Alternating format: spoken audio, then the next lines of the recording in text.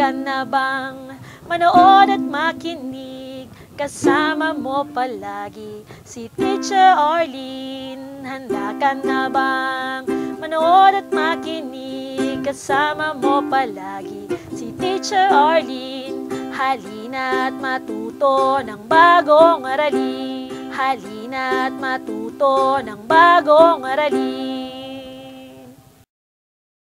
Ako si Teacher Arlene Uy, ang makakasama ninyo sa 30 minutong pag-aaral at talakayan ng mahalagang kasanayan na dapat ninyong matutunan. Tara na! Aral na at simulan na natin ang ating aralin.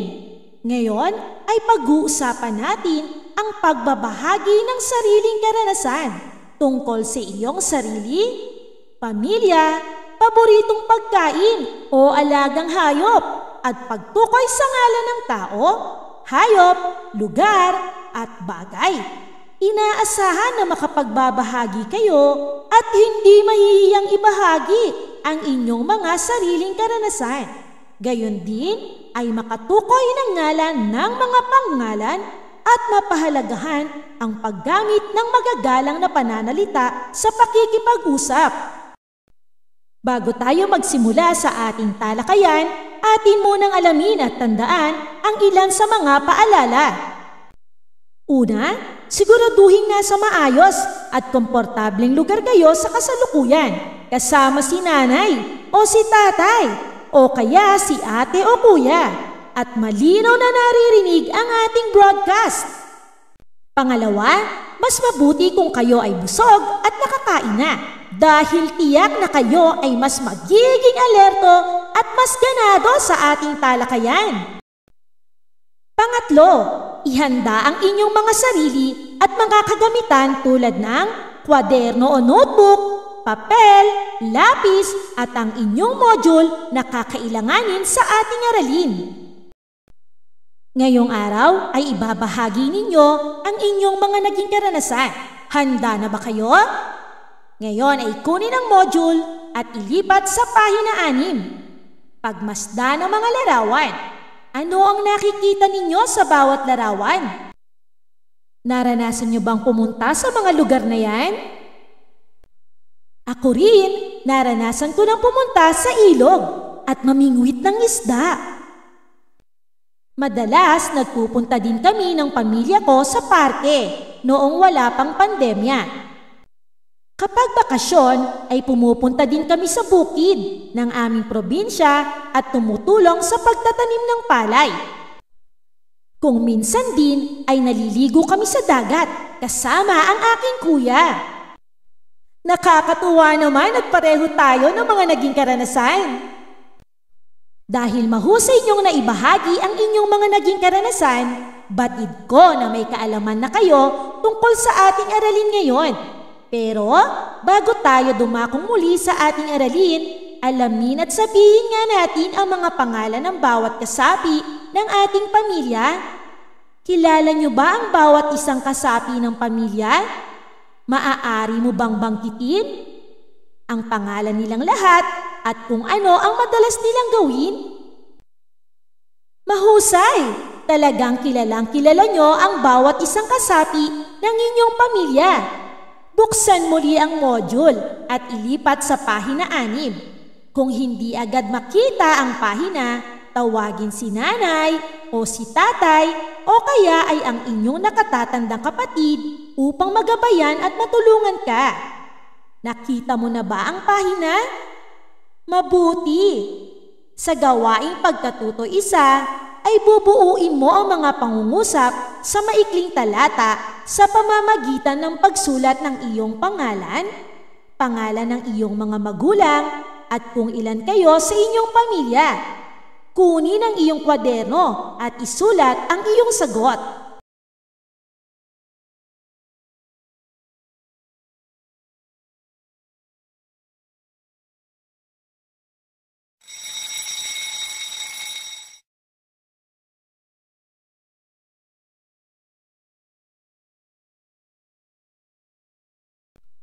Ngayon ay nasagutan na natin.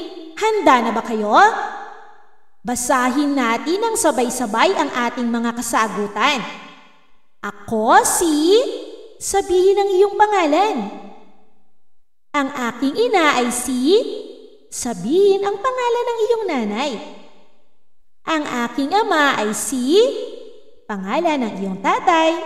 At kami ay patlang sa aming pamilya. Ilan kayo sa inyong pamilya? Magaling! Tumpak ang inyong sagot. Buklatin muli ang module at ilipat sa pahina pito. Sa gawaing pagkatuto dalawa, pagmasdan muli ang larawan. Kilala mo bang lahat ang pangalan ng bawat hayop na nasa larawan? Ano ang masasabi mo sa kanila? Saan sila madalas nakikita? Kunin muli ang iyong lapis at kwaderno. Isulat ang iyong sagot.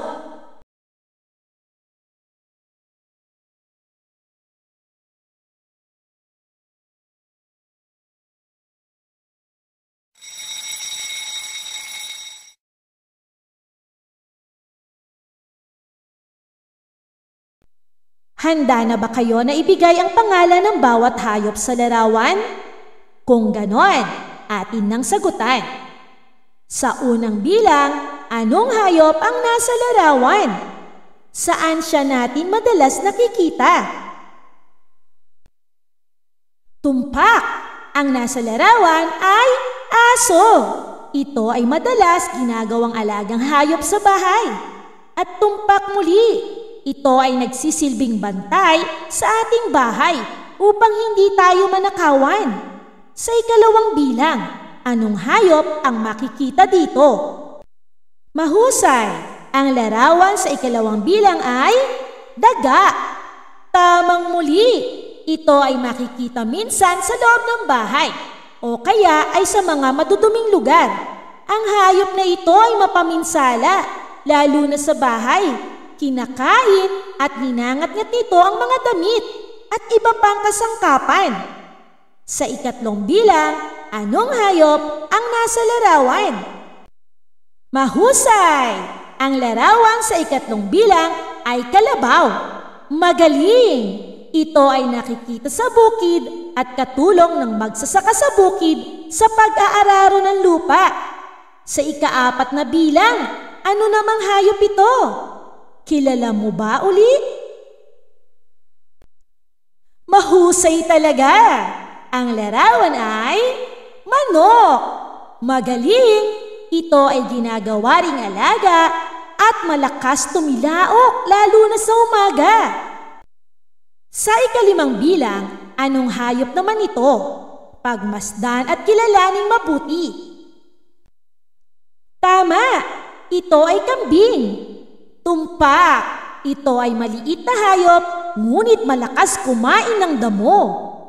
Para sa huling bilang, ano naman ang nasa larawan na ito?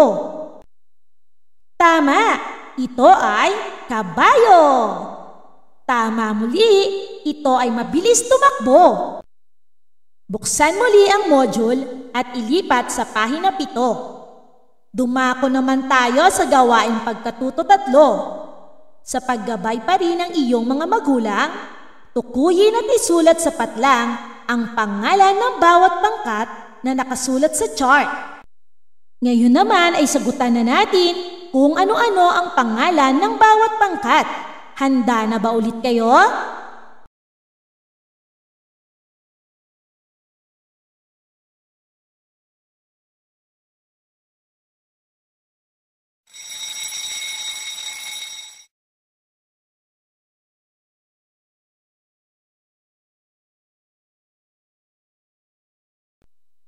Atin nang sagutan.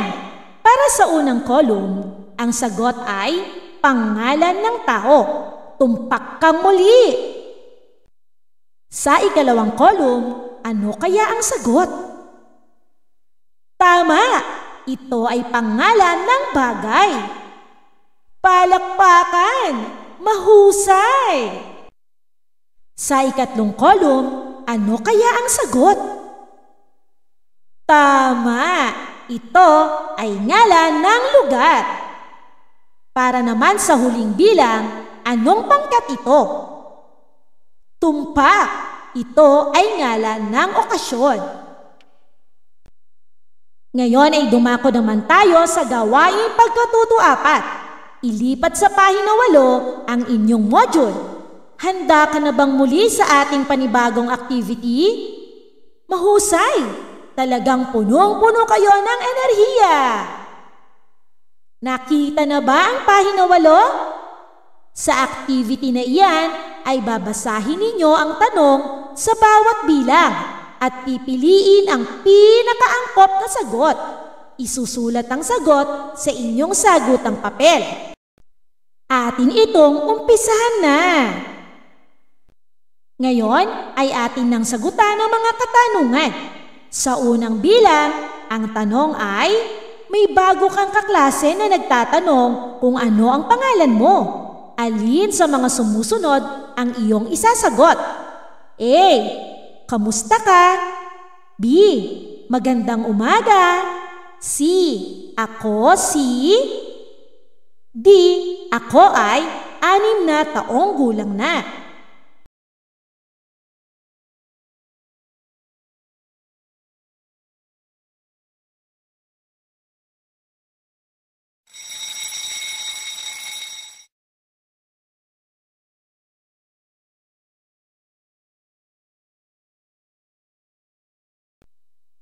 Magaling! Tama ang iyong sagot. Ito ay titiksi. Sasabihin mo ang iyong pangalan sa bago mong kamag-aral na nagtatanong ng pangalan mo. Sa ikalawang bilang, pagmasdan ang larawan ng hayop. Anong tunog ang nililikha nito? A. Tweet, tweet, tweet! B. Tik-tak, tik-tak. C. Meow, meow, meow. D. Oink, oink, oink.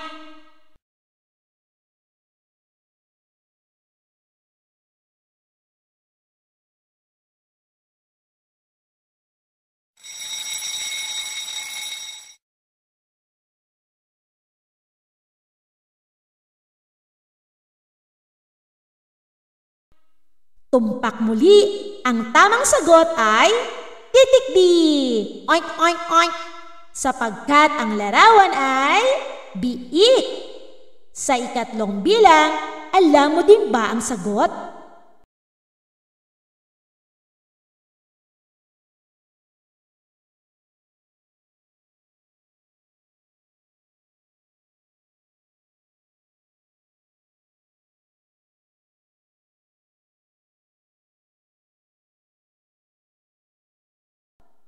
Tamang muli ang iyong sagot. Titik B ang tunog ng larawan ay eroplano. Sa huling bilang, ano kaya ang tamang sagot?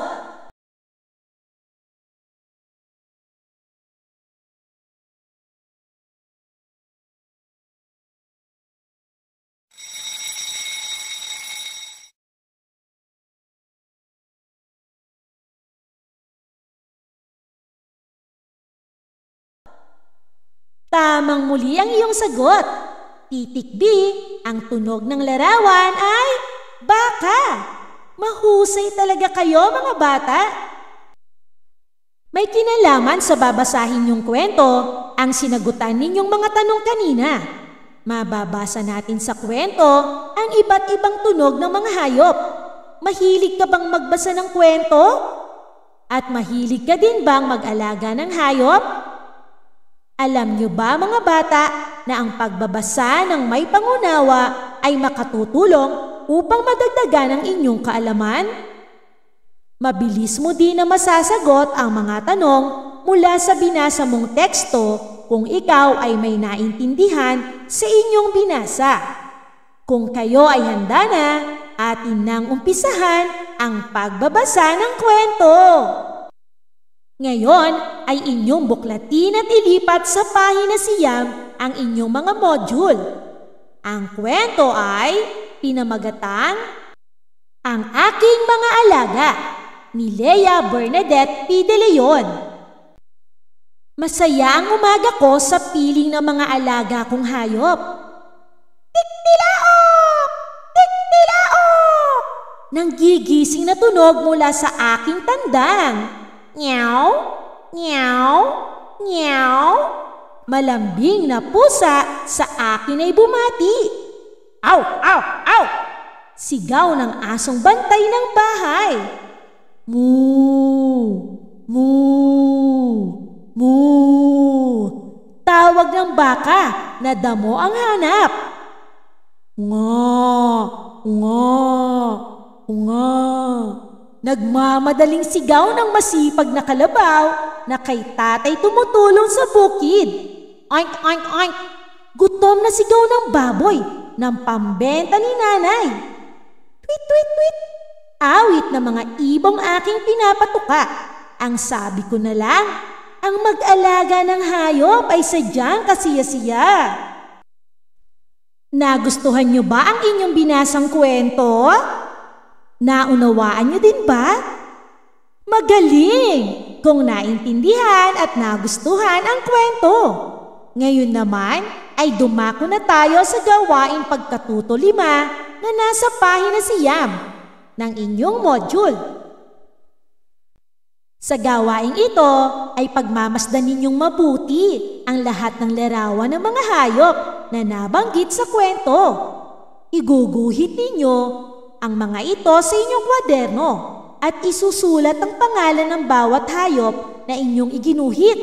Umpisahan na natin!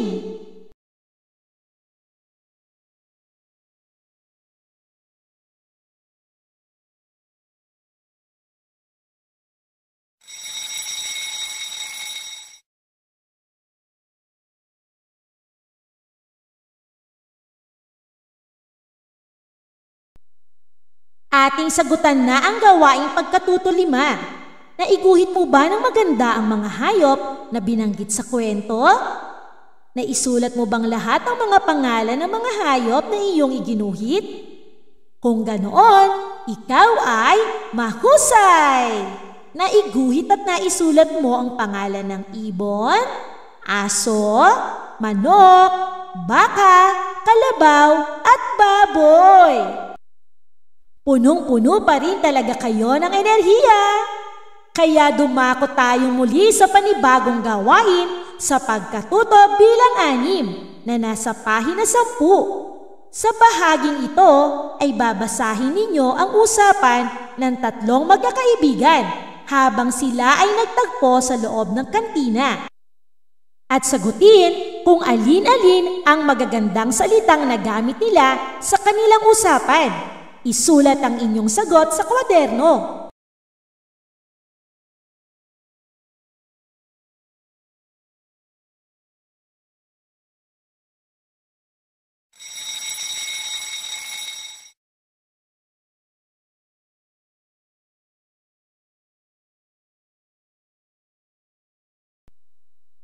Natukoy mo ba ang lahat ng magagandang salitang ginamit ng magkakaibigan sa kwento? Tumpak, wasto ang sagot nyo. Habang ibinabahagi ng magkakaibigan ang kanilang mga naging karanasan sa isa't isa, ay gumamit sila ng mga magaganda at magagalang na pananalita, gaya ng mga pagbati tulad ng magandang umaga, magandang araw at kumusta kayo? Sadyang napakahuhusay nyo. Ngayon naman mga bata, sa iyong pagkakaunawa sa aralin, bakit kailangan mong malaman at mailahad o maipakita sa paraan ng pagguhit o pagsulat ang pangunahing impormasyon tungkol sa iyong sarili? At ano ang pangalan? Bakit mahalagang gamitin sa pakikipag-usap ang magagalang na pananalita? Mahalagang mailahad sa kahit ano pa mang pamamaraan ang mga impormasyon tungkol sa iyong sarili, pasulat, pasalita o pagguhit man, sapagkat nagiging kasiyasiya sa atin na maibahagi ang mga karanasan tungkol sa ating sarili, pamilya at mga kaibigan. Gumagamit at natutukoy din natin ang iba't ibang pangalan sa pagbabahagi ng ating mga karanasan. Gayon din ay mahalaga na nagagamit natin ang magaganda at magagalang na pananalita sa pakikipag-usap sapagkat kinagigiliwan ng mga bata na magalang sa kanilang pakikipag-usap. Ngayong tapos na ang ating leksyon, oras na para tasahin o sukatin ang inyong kaalaman o ang inyong natutunan ukol sa ating aralin. Pagbabahagi ng karanasan tungkol sa sarili, pamilya, paboritong pagkain at alagang hayop. Pagtukoy sa ngalan ng mga pangalan. Gagawa kayo ng sarili niyong portfolio na lalagyan ng inyong mga output. Maaari magpatulong sa miyembro ng pamilya, kay nanay, tatay, ate o kuya, o kaya naman sa kasama niyo sa bahay na nakakatanda sa inyo sa paggawa nito. Gagawa kayo ng maikling talata tungkol sa karanasan mo sa paggawa ng iyong portfolio. Isulat mo ito sa iyong quiz pad Huwag kalimutang isulat ang pangalan, baitang, pangkat at araw. Nakasunod ba kayo? Yan, mahusay! Ngayon ay ilagay nyo na sa loob ng inyong portfolio ang inyong ginawang talata at isumite ito sa inyong guro. Tapos na tayo sa ating pagsusulit. Yay! Palakpakan ang inyong sarili sa napakahusay niyong pag-aaral at partisipasyon sa ating mga gawaing pagkatuto. Para sa inyong karagdagang gawain, pakibasa ang susunod nating mga paksa sa inyong module.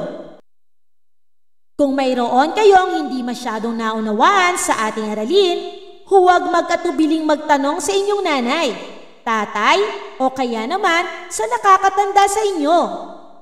Hanggang sa muli, ako ang inyong teacher Eileen na nagsasabing mag-aral mabuti. Ito ang susi sa ating tagumpay. Paalam! Maraming salamat sa pakikinig mga bata. Tandaan natin na ang karunungan ay kayamanan. Sabay-sabay natin sabihin, God loves me and you.